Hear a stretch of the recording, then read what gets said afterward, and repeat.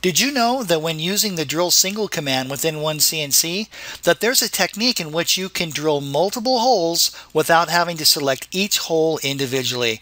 It's very easy to do, and I'm going to show you how to do it. Now, first of all, you can see we have a solid model, and I have 60 holes that I've already created. What we're going to do is head up here to Smart Select. I'm going to tell OneCNC to select by type. So we're going to tick that button there, and we're going to tell OneCNC to select all the circles, and we're going to click OK. So what we've done is we've pre-selected all the circles. Now we're going to go into drill single. And by doing so, it takes us to the very first dialog box. I'm just going to use the default parameters we have here.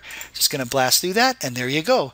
There is the drill single command executed on 60 holes without having you to digitize each hole individually.